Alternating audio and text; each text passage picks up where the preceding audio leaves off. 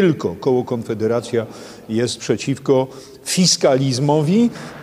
Konfederacja jest za odpodatkowaniem Polaków. No i ponieważ Polacy słyszą w ostatnich tygodniach różne zbawienne rady od osób pierwszych, drugich w państwie, a to zaciskać zęby, a to zaciskać pasa, a to mniej żreć, to i ja wzniosę dzisiaj to samo hasło mniej żreć, ale do rządu, do rządu mówię mniej żreć pieniędzy Polaków, mniej pochłaniać, ograniczać się trochę w tym nieokiełznanym żoliborskim budownictwie socjalistycznym i może jakoś uda się Rzeczpospolitą uratować i może naród polski jakoś to przetrwa, a na początek w ramach akcji mniej żreć zlikwidujcie podatek Belki.